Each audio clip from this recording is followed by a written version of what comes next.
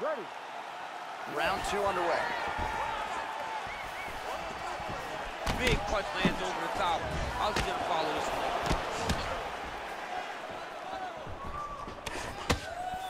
Just missing on the uppercut there. And they separate.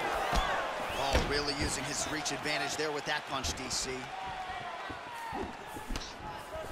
Jones's elbow. Huge connection by him there. He needs to get on his bicycle, Jon. He needs to get into space so that he doesn't get finished. So holding on to him here, not doing a ton, perhaps just looking to recover.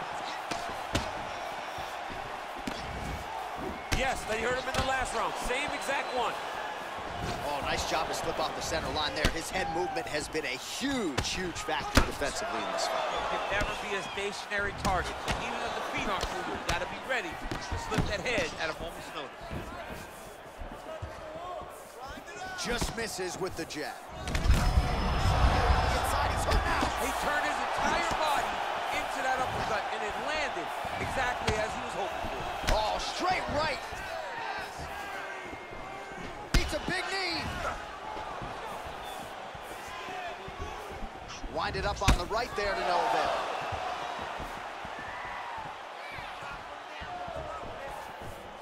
Well, he was huge elbow there.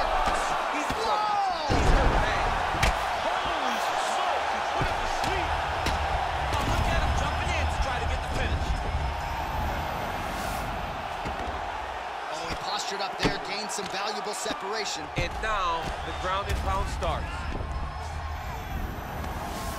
Two minutes now to go. Jones's right torso starting to bruise pretty good here. Oh, nicely done there as he escapes back to his feet. Blocks the shot. As effective as straight punches